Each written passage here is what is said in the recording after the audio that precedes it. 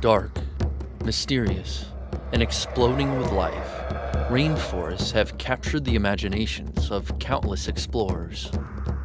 The jungle is ever changing, ever growing. If allowed, it can swallow entire cities. In the early 19th century, the rainforests of Central America were vast and uncharted. There were rumors, however, of massive stone monuments peeking through the landscape. In 1839, American explorer John Lloyd Stephens and British artist Frederick Catherwood set out to investigate these rumors. What they found were the remnants of an incredibly sophisticated, ancient civilization. Stephens' thoughtful written accounts, paired with Catherwood's detailed illustrations, would shake the foundations of archaeology.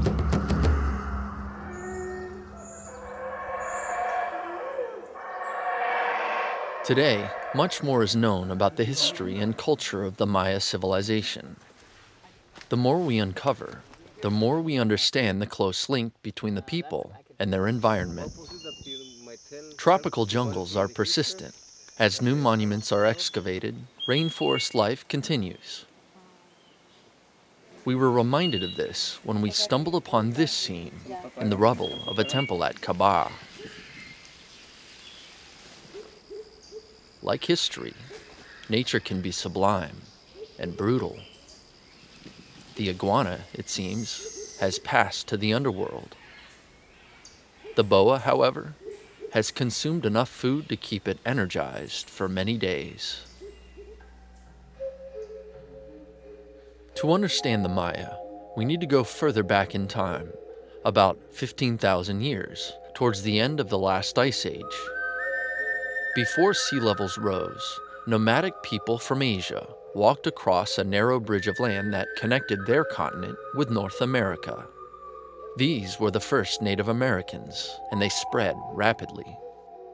The environment was much different. There were no rainforests in the Yucatan Peninsula during the late Pleistocene because the climate was dry. Before they even knew how to build pyramids, these first Americans began shaping the landscape by selecting those plants that were most useful to them.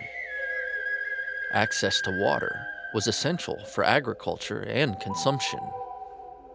The Yucatan Peninsula is basically a platform of soluble limestone rock. Now, this area is unique in that there are hardly any above ground rivers.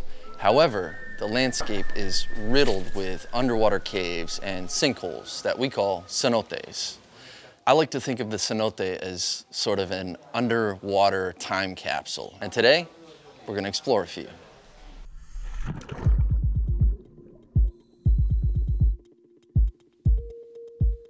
Diving through these cave systems in Mexico's Maya Riviera, we see intricate formations, stalactites, stalagmites, columns.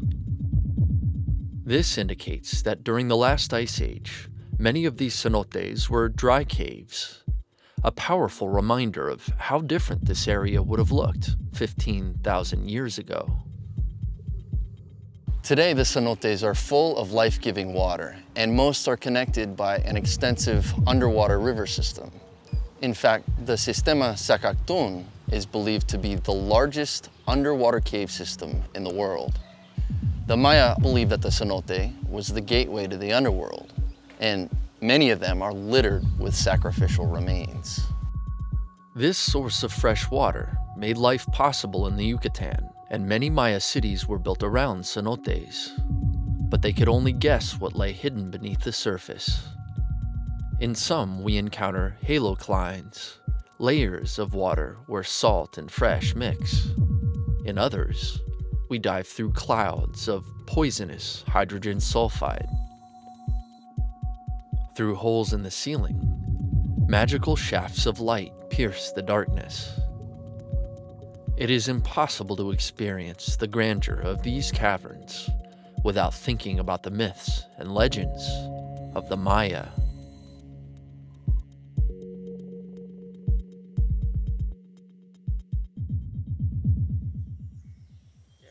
Over thousands of years, The domestication of plants like corn, beans, and squash transformed the ancestors of the Maya from hunter gatherers to agricultural pioneers.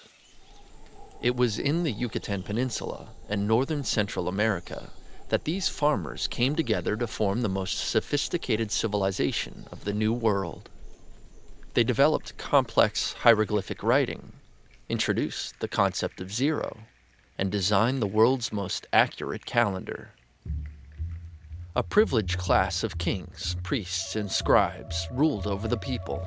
The kings were regarded as gods with a big supply of limestone under their feet, the peasants built pyramids and temples to honor their god kings, and also to bury them. In life, kings were dressed in jaguar skins and the feathers of the resplendent quetzal. In death, their faces were covered with masks made from precious jade. These signs of culture and art started well before the Christian era, coming to full expression during the Maya Classic period from 250 to 900 AD. The Maya imagined many gods based on nature, such as the god of rain, of the sun, and even a monkey god. They imagined these gods coming to earth on the branches of the giant ceiba tree. Maya builders had no metal tools for cutting limestone. They also didn't have any horses or oxen or beasts of burden. They used physics, rolling huge blocks of stone on logs and, and leveraging them into place. It was human strength and ingenuity at its best that constructed massive stone monuments like this right here, Nohoch Mul Pyramid in the ancient city of Coba. At 137 feet tall, this is the tallest pyramid in the Yucatan. Like the Romans, they invented a type of arch and a process for making cement by heating crushed limestone. The arch enabled them to create interior spaces in their stone temples. The cement enabled them to stucco their temples and then paint them. We found traces of stucco and paint in deep crevices. Most has washed away with the centuries. The magnificent city of Palenque looks like this today after its partial restoration. Its four story tower is different from any other structure in the Maya world. Astonishingly, Palenque probably looked close to this when it was occupied. Dozens, perhaps hundreds of Maya cities flourished and faded centuries before Columbus even arrived. In the late Classic period, shortly before the Maya civilization declined, artistic styles became highly decorative. Some Puuc style temples, like this one at Kaba, were covered in mosaic masks of the rain god, Chak. In the rear of the building, two warriors overlook the plaza. In the nunnery quadrangle at Uxmal, a human head emerges from the jaws of a rattlesnake. At Labna, a large arch is richly decorated. At Sayil, rounded columns were introduced to support a multi storied building a feature oddly reminiscent of the ancient Greeks. The Rio Bec style took construction to another extreme. At Xpujil, a temple had towers that served no purpose other than decoration. At Chicanná, one enters the temple through a monster mouth, trimmed out with the eyes and teeth of a jaguar. These striking examples of artistry in the late Classic period led many archaeologists to assume that the Maya were a peace loving people devoted to the finer things of life. Then a series of murals was discovered at a site called Bonampak. We see the king and his nobles presented with the captives of war, their tortured fingertips dripping blood. In another mural, the queen makes a blood sacrifice to the gods by running a thorny rope through her tongue. A stone lintel at Yaxchilan shows another queen doing the same thing. War between city states was common. Tikal, in present day Guatemala, ruled much of the Maya world until Calakmul made alliances with other cities and defeated Tikal in 572 AD. Maybe the massive pyramids were built for intimidation more than anything else. Tall hieroglyphic monuments called stelae speak mostly of military victory. Nearly every Maya city had a ball court. The object was to knock a solid rubber ball through a hoop without using your hands. The ball game was often featured in Maya art, but there's a lot that we don't know about the rules. We do know that the game wasn't strictly for fun, and it was a representation of military conflict. Many times captives were forced to play only to be sacrificed at the end. Even in sport, the Maya kept death close at hand. By 1500 AD, a once great civilization had all but disappeared. Large scale construction ceased, political structures disintegrated, and the people melted into the forest. Theories about the reasons for the Maya collapse abound. Perhaps it was climate change and drought, a pandemic. Many experts have suggested that the Maya overexploited the landscape, or maybe political upheaval was the culprit. It was likely a combination of factors, but the truth is, we may never fully understand. Most of what remained, the stone remnants of one of the world's most impressive ancient civilizations, was eventually reclaimed by the jungle. The rainforest can seem like a foreboding place. For the Maya, it was bountiful. Tropical forests are known for their incredible biodiversity, and the jungles of Central America are some of the richest on the planet. Climate is critical. As the name suggests, rainforests require lots of precipitation. Plants take up water through their roots and absorb carbon dioxide from the atmosphere. By harnessing the energy of the sun, carbon is synthesized into sugars, which help the plant grow. The byproducts? Oxygen and water vapor. Ironically, this process, which is so dependent on climate, creates thick clouds that help to keep the climate of the rainforest stable. Rainforests, in many ways, are the lungs of the earth. The cycle of life moves at breakneck speed in the tropical forest. Competition for sunlight, for water and nutrients is fierce, and this leads to great specialization and diversity. The variety of plants is spectacular, each occupying a special niche in the community. With frequent, often torrential rains, soil nutrients can be quickly washed away.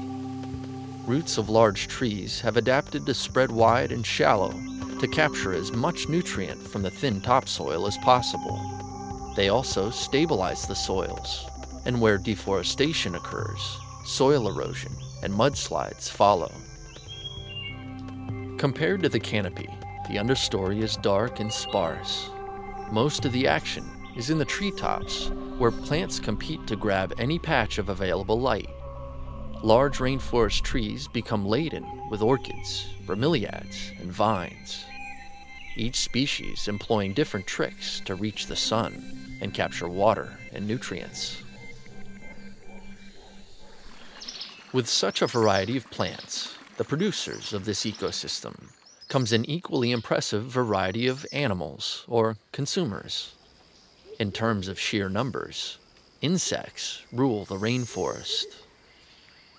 There are hundreds of species of ants. They have tiny brains, but have adapted to form highly complex social structures.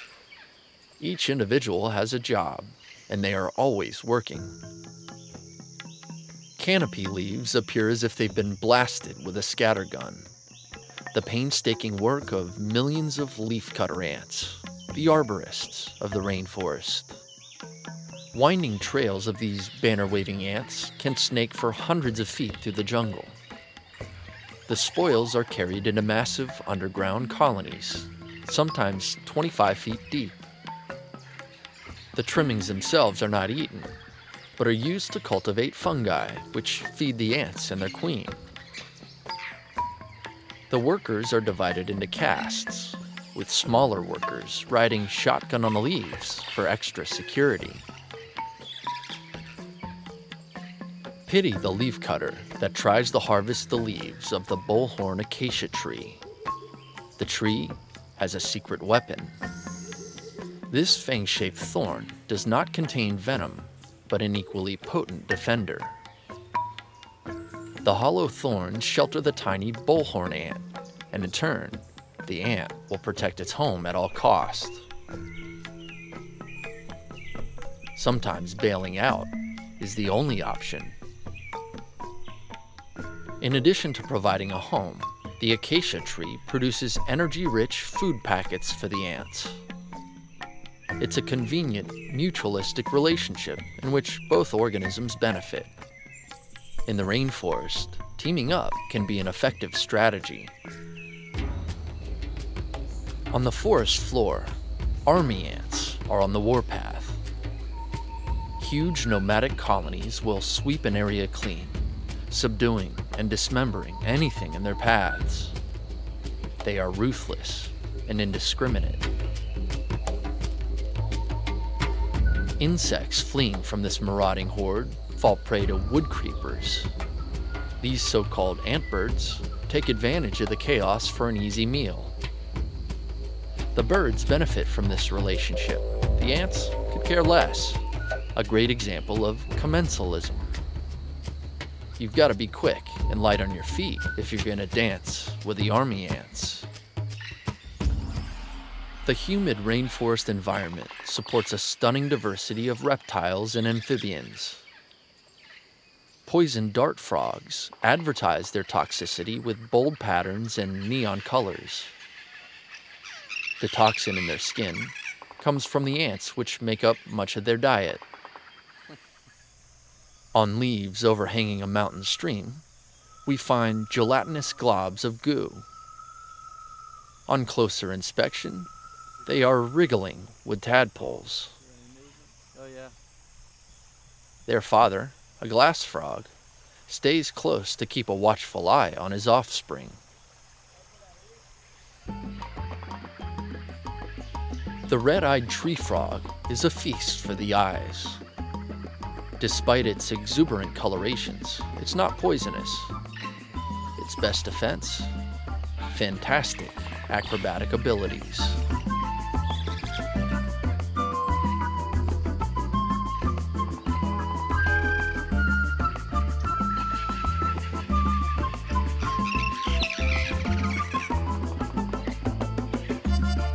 Thing he's got sticky feet, because he doesn't always stick the landing.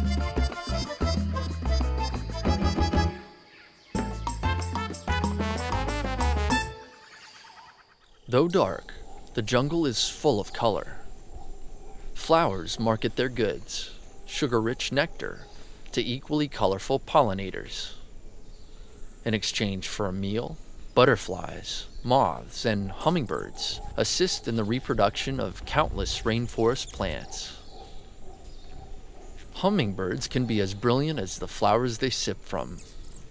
In order to drink without damaging the flower, hummingbirds hover, beating their wings as many as 80 times per second.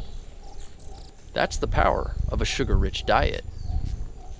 Hummingbirds are also the only group of birds that can fly backwards.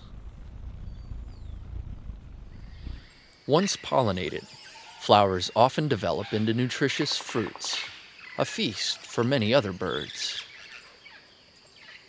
Because of the tropical climate, hundreds of plant species flower and fruit year round. For a mated pair of scarlet macaws, there is always a guava or palm tree heavy with fruit. Monkeys are agile enough to reach fruits high up in Central America's productive canopy. Their long tails are important for balance. But spider monkeys have multi purpose tails. Essentially, an extra grasping limb, the tail is just the tool for life among the trees. Monkeys with prehensile tails are only found in the New World. The ominous growl of the howler monkey echoes through these jungles.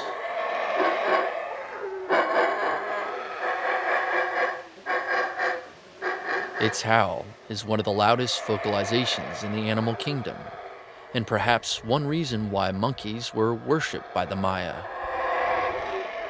In fact, the monkey god was a common theme in Maya life, often depicted in intricate works of art. But despite its terrifying howl, this species is strictly vegetarian, preferring tender buds and newly sprouted leaves. Real friends are the ones that will check you for ticks.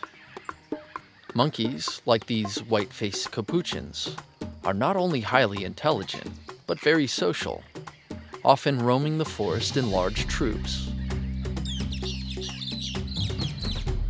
When monkeys aren't feeding themselves, they might be tending young, hanging out, or just plain monkeying around.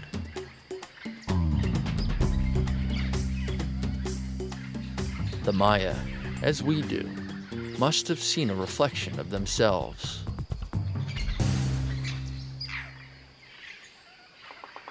Seeds from the fruits that are eaten fall to the forest floor. This ensures that plant varieties are evenly spread throughout the jungle. The agouti is especially good at seed dispersal. Seeds scattered among the leaf litter are a good sign that agoutis have been busy. One thing jungles have plenty of are leaves. The sparse understory is kept clear by terrestrial leaf eaters. Large herbivores, like deer, were an important source of protein for the Maya. The largest land mammal in Central America dines primarily on leaves. The Baird's tapir will sometimes forage during the day, though it is more active at night. The heat of the day is reserved for more relaxing pursuits, like butt scratching. Napping is another favorite.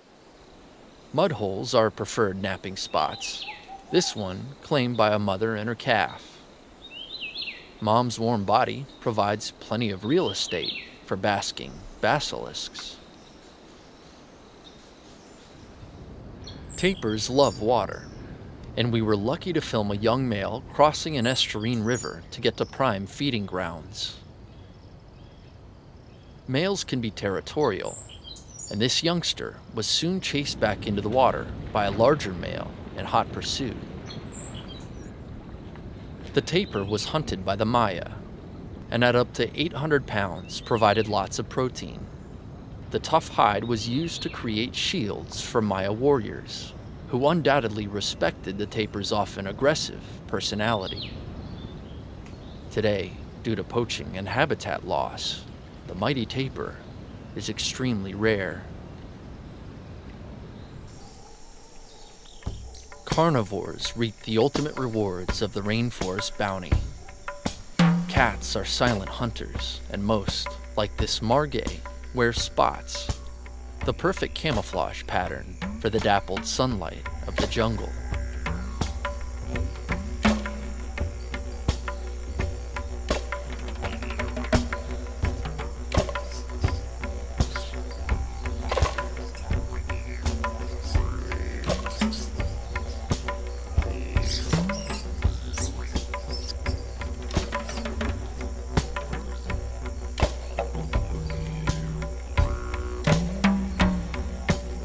The undisputed king of the rainforest is the jaguar. For the Maya, it represented untamed power.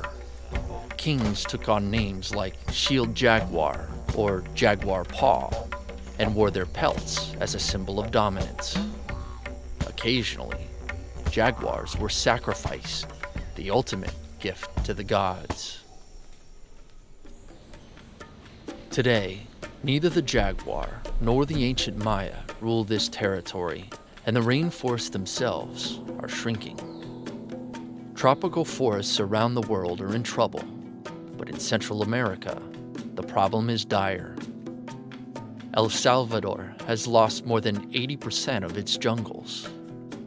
Sprawling development, illegal logging, and cash crops such as palm oil plantations are some of the main threats.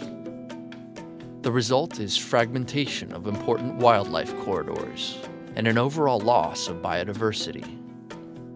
We are also beginning to understand the effects of climate change, and the destruction of these forests is particularly worrisome. We know that through photosynthesis, rainforests are responsible for trapping massive amounts of carbon. The byproducts they produce, oxygen and water vapor, are essential to life on this planet. But the jungles have not completely disappeared, and despite what many history books have taught, neither have the Maya. So one day I, I, I, met a fellow from the US, I think, and he, he was looking at the ancient monuments in my farm. And he said, Wow, what a wonderful work. He said, I wonder where those Mayas went to. I said, They didn't go anywhere. What do you mean? They didn't go anywhere. Where they are? So I told him, You are talking to one of them. We were not taught about the history of our people. It was in my adult age that I managed to read all these things about the Mayas and I'm able to connect them with myself. Many have claimed that the ancient Maya degraded their land, resulting in an environmental collapse. This is not likely, says archaeologist Annabelle Ford, who in 1983 found the ancient city of El Pilar in western Belize. Around the crumbled remains, Dr. Ford observed that 90% of the trees were species that were useful to the Maya in some way. 20 species were particularly dominant.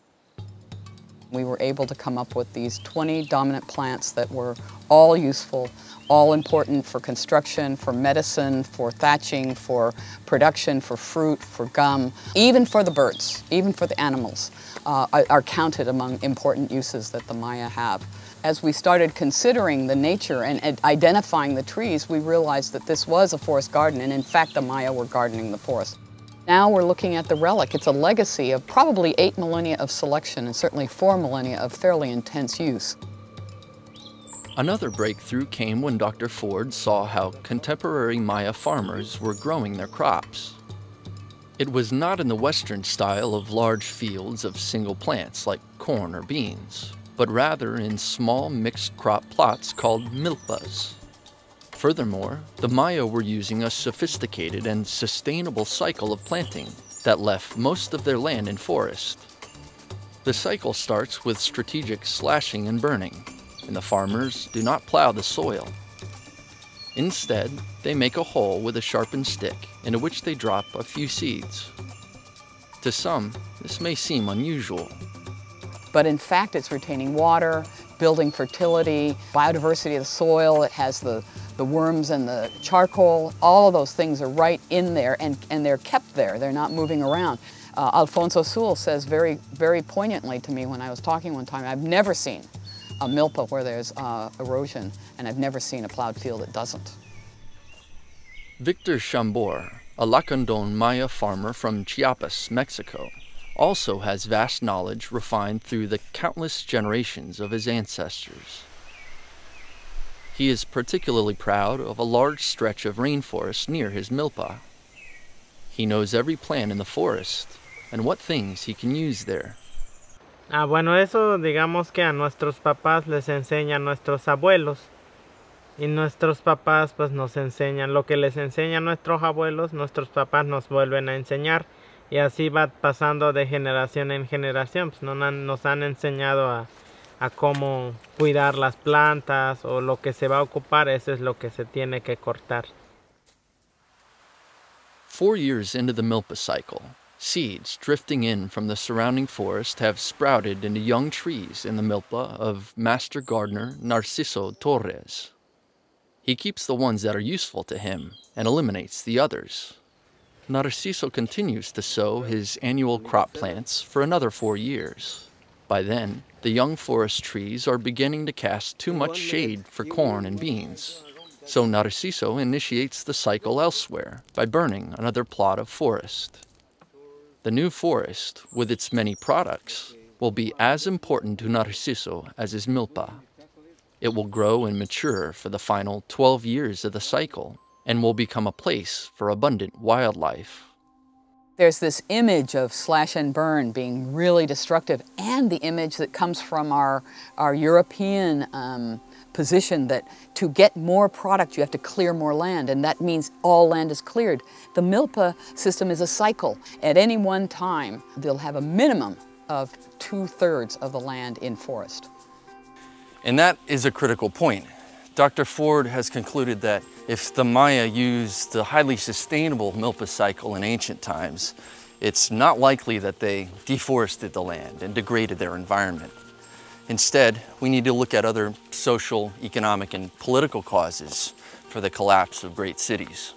The Maya farmers lived on, and with neither pyramids to build or kings to support, they continued to perfect this high-yield milpa cycle through hundreds of generations of hard work and accumulated knowledge. The milpa cycle may be their most important achievement and their greatest gift to the future of mankind. But in this modern era where agriculture is increasingly mechanized, will this tremendous knowledge be lost? There are fewer and fewer of these master forest gardeners, like Victor, like Narciso, like Alfonso. These people carry a knowledge that is a 8,000 year experimental practice. Can you imagine? And to not include them in a sustainable future when they can really step up and help, and they're ready to help. We need them. And if these people are uh, not here for us, we can never find out that the kinds of things they know that have been this long experiment. The sustainability of the Maya Forest Garden is unparalleled. With an uncertain future, there are remnants of the past that we must cling to. We decided to search for a creature that, in many ways, symbolized the glory of the ancient Maya, and in my opinion, today embodies the wild soul of Central America's remaining jungles. To find this animal, we had to travel a bit south of the traditional Maya lands to the cloud forests of Costa Rica. Here we can find some of the last thriving populations of the resplendent quetzal. This bird was once common in the mountains of Central America. It was deified by the Maya, and the male's long, iridescent streamer feathers were used to decorate kingly headdresses. The quetzal was so sacred that anyone caught killing one could be put to death. So we found a dead tree with a nest, and the parents should be arriving at any time. So now it's just a matter of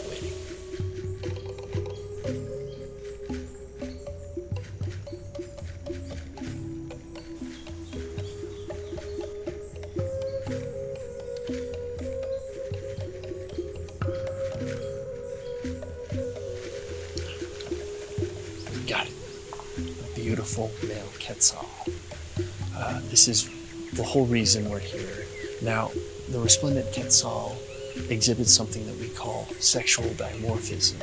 And basically, what that means is that the species has physical differences between the male and the female.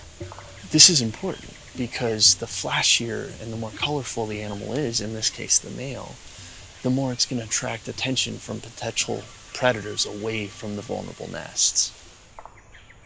For the quetzal, a dead tree is critical to its life cycle. Its beak is designed for plucking fruits, not chipping wood. Instead, the quetzal will occupy an abandoned woodpecker hole, enlarging the cavity. The wood must be nice and soft. Even a dead tree has a place in the rainforest ecosystem. Adults feed primarily on fruits, especially wild avocados. The pit is later regurgitated. Quetzal chicks require a bit more protein, and the parents take turns scouring the forest for fruits and insects to feed their young. In the lands of the Maya, quetzals have become rare. Habitat loss to agriculture has had a significant impact. In search of fuel to heat their homes, local farmers often cut down dead trees in the forest, the same trees needed for the quetzal's nesting activities. In Costa Rica, however, the resplendent quetzal draws birdwatchers from around the world. New conservation initiatives are encouraging farmers to protect nesting trees on their properties. Visiting tour groups provide the farmers with extra cash, incentivizing the locals to protect this flagship species.